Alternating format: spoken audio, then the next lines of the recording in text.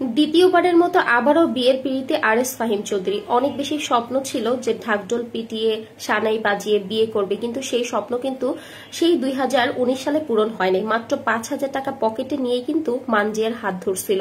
কিন্তু এই দুই হাজার তেইশ সালের লাস্টে মানে চব্বিশ হবে হবে, এই সময় আইসা আর এস ফাহিম চৌধুরী আবার দ্বিতীয়বারের মতো বিয়ের পিড়িতে বসছে। কিন্তু কোনে কে, কাকে বিয়ে করতেছে, কেউ কি জানেন? তার কাকে করবে? তার ভালোবাসার মানুষ মানজিয়া ভাবিকে।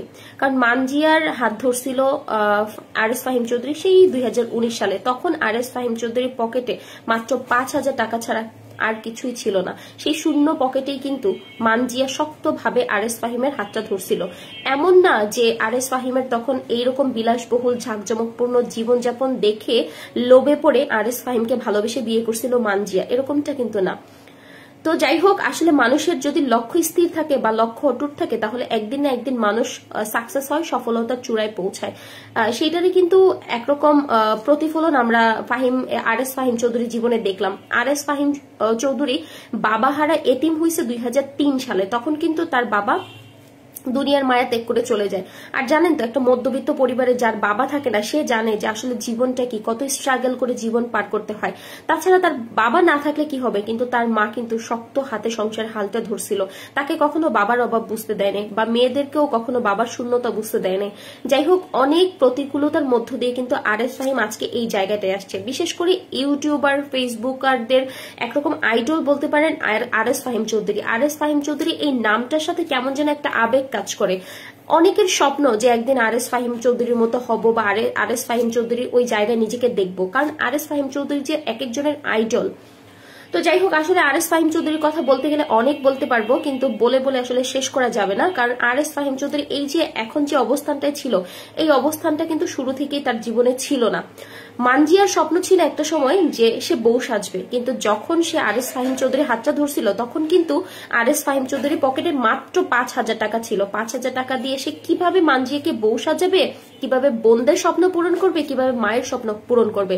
তাছাড়া বোনদের স্বপ্ন ছিল যে নেচে, গেয়ে আনন্দ উল্লাস করে ভাইয়ের বউকে বাড়িতে তুলবে। তাছাড়া R S Fahim R S ফাহিমের মায়ের স্বপ্ন ছিল যে এলাকা পুরা, এলাকা লাইটিং থাকবে, রাস্তাঘাট, বাড়ির আশেপাশে সব জায়গায় লাইটিং থাকবে, ঢাক, ঢোল পিটিয়ে, সানাই বাজিয়ে একমাত্র ছেলেকে বিয়ে করাবে বা একমাত্র ছেলের বউকে ঘরে তুলবে। কিন্তু সেই সামর্থ্য তো তখন ছিল না দুই হাজার উনিশ সালে। কিন্তু দেখেন, এখন আর এস ফাহিমের অবস্থান কোথায়? তার কাছে কি নাই? বাড়ি আছে, গাড়ি আছে, কারি কারি, টাকা আছে স্পন্সর আছে, কি নাই?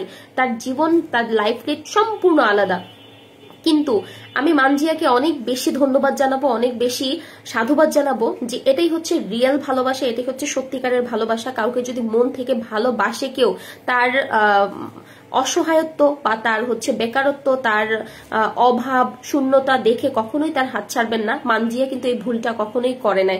তার একটা আত্মবিশ্বাস ছিল যে এখন আর এস ফাহিমের টাকা পয়সা নাই তো কি হয়েছে আমি তো আছি আর এস ফাহিমের পাশে বা আমি তো তাকে হচ্ছে সেই ইয়েটা, সাপোর্টটা দেওয়ার জন্য আমি আছি। মেন্টালি যে সাপোর্ট, সেটা মানজিয়ার কাছ থেকে আর এস ফাহিম সবসময় পাইছে। তাছাড়া ওনাদের ব্লগ ভিডিও আমি অনেক আগে থেকেই দেখি, আমার খুব ভালো লাগে। আর এস ফাহিমের ব্লগ ভিডিও, তারপরে মানজিয়া ভাবির ব্লগ ভিডিও, তাদের পুরা পরিবারের যে একটা বন্ডিং আলাদা, এটা খুবই খুবই ভালো একটা বন্ডিং দেখার মতো একটা পরিবার, খুবই পছন্দের অনেক অনেক ফ্যামিলির কাছে যে আর এস ফাহিমের ব্লগ ভিডিও ভালো লাগে, আর আর এস ফাহিমের হচ্ছে সাইকেল স্ট্যান্ড ভালো লাগে আর এস ফাহিমের বাইক স্ট্যান্ড ভালো লাগে। আর এস ফাহিম নামটাই যেন সবার কাছে একরকম পছন্দের একটা ই। তো যাই হোক মানজিয়া ভাবি এবং আর এস ফাহিমের জন্য অনেক অনেক শুভকামনা রইল। যারা এরকম পছন্দ করেন রিলেশন করেন, প্রেম, ভালোবাসা করেন, দেখা গেছে যে একটা সময় বেকারত্ব থাকে টাকা পয়সা থাকে না চাকরি বাকরি থাকে না, বেকার ছেলে রেখে হাত ছেড়ে চলে যান, এইটা কখনোই করবেন না। কারণ কার মোড় কখন ঘুরবে এটা একমাত্র আল্লাহ তালাই বলতে পারে। দেখেন আর এস ফাহিমের অবস্থান আজকে কোথায়? আর দুই হাজার উনিশ সালে তার অবস্থান কোথায় ছিল? তো এইটাই বলব। সবাই ভালো থাকবেন, সুস্থ থাকবেন।